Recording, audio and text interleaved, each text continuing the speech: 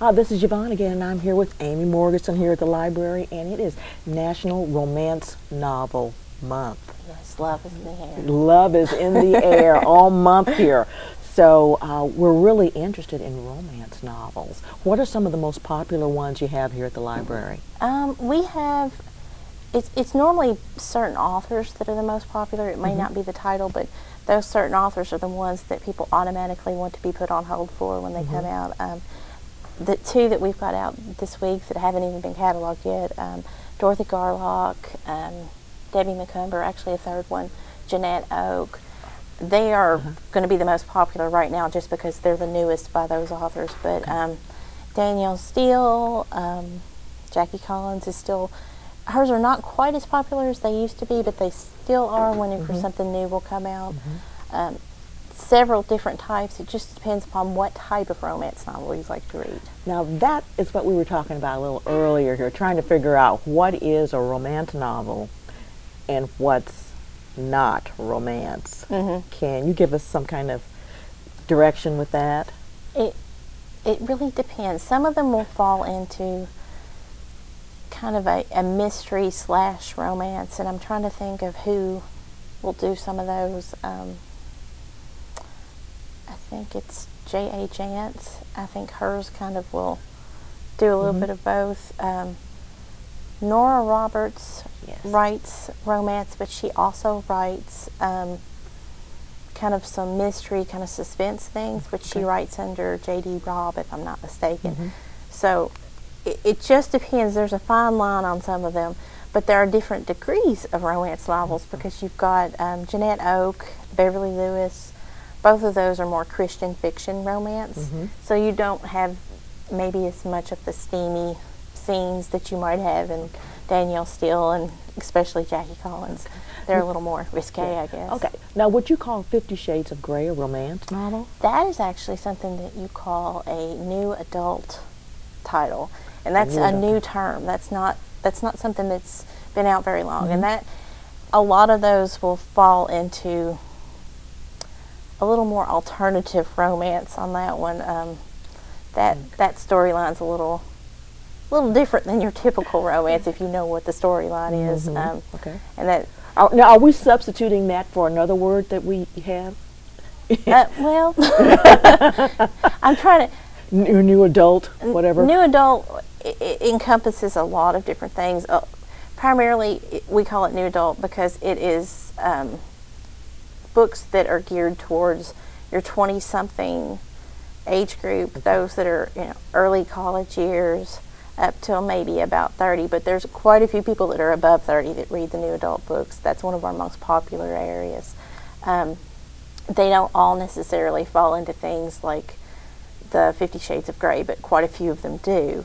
Mm-hmm. Um, and it just so happens that the age group of the person that the book is about is in that age category, that 20 something, early, early 30 something, that don't fall into the teenagers and don't quite fall into the regular Okay. romance. But um, usually they are a little more risque than some of the other ones. They, they focus on some different practices that not everyone of the romance Sure. reader area want to actually read about, but quite a few do. So, Okay, now, what's popular in that genre? um, Fifty Shades of Grey is um, trying to think. There's so many series. Almost every one of them has. You won't find a standalone book. It will be a series of books that's could have up to eleven or twelve in the the series before you're finished with it. Um, I'm Okay, and, and it looks like they took that from Fifty Shades of Grey, you know. yeah, and Uh-huh. it, it seems to be a lot of a, a spin off of that. And Yes. I'm trying to think of the authors in that, but um, usually they're titled things like Entwined or um, Yeah. something really dark and you know a little a little sinister. yeah a little sinister too. Yeah. Okay. Yeah. Let's get back to our basic romance novels here. I know that you also you have the novel, but you also have the books on tape. Mm-hmm. We have audio audio books. Um, they're all on CD. We no longer carry tapes just because they're you know obsolete now. Mm-hmm. Sure. But um, we also have uh, downloadable online books that you can get. So if you can't stop in and get your books, you Mm-hmm. can you can either download the ebook or you can download the e audio book so that you can use those at home as well. I, I know these are new books that we have here now, so I know that you can come in and put your name on a waiting Mhm. list. Is that correct? You can. You can come in and put your name on the waiting list. If you have your PIN number and you have access to the internet at home, you can go online, use your PIN number, and log into your account. And anything that you see online that's not in at that time, you can put on hold. And so we'll give you a call whenever that comes in. Okay. Yeah. Well, I know the library is constantly getting in new books. What's kind of um, an order of, of how things come in as far as new books? Um, some of the authors that are the most popular we have on a um, a program called Automatically Yours. We will automatically get things like Debbie Macomber and Daniel Steel, things like that. But for the most part, we take a lot of requests from people so that we try to get those. We're, we're what you call a popular titles library, and that primarily means that we want to focus on what the people in the community want. Um, we do try to keep a you know a small collection of the classics and things, and we do keep updated um, nonfiction titles and things. But mostly, we want to get what people are wanting right then. So it's the things that are most popular right then. So if you come in, you ask for something, we'll put in a request for that. We try to order that as soon as possible, get that in, and let you know.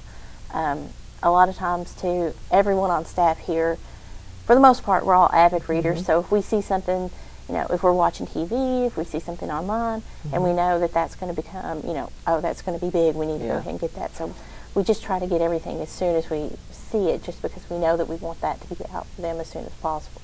Okay. I'm going to put you on the spot. Okay. Okay. Give me a recommendation for a romance novel for the month of August. For the month of August, I'm trying to think. Um, Something that I could really sink my teeth into, get a, a, a good romance story. I want traditional. Just tra- traditional I want romance. a traditional romance um, story. I would say you would go with the Debbie Macomber then, because Debbie she's hers are kind of just your your normal romance. Nothing, Mm-hmm. you know, not anything too Kinky. dark or yeah, kinky. Nothing like that. It's just you know you. You're, you know, it's usually got a good storyline with it, but it's also got the romance. we like a story, Yeah. yes. The story's Um, always good. No, usually no um, mystery or anything Uh-huh. involved with that. But um, yeah, there's there's so many that are out there, Uh-huh. and you know, if there's something that you're looking for in particular, if you have a certain type, we have a lot of people that only read historical fiction romance. They want it set within a certain time period, and some are, some down to they want it to be you know 17th century Yeah. England, and you know Yeah. we can find it for you. Usually, it's just you know it just depends upon what you like. Okay. Yeah. Well, you know, they've set August aside as uh, Romance Novel Month, but if you come to the library here in Marion County, you can find a romance novel for any month of the year. Is that yes, you can. Yes, and if we don't have it, we will try to get it for you. Okay. Well, listen, happy reading Thank you. during the month of August for all of our viewers out there and for Amy here. Hopefully, I can find a, a romance novel before I leave today. And uh, thank you for helping us out. Thank you. Uh-huh.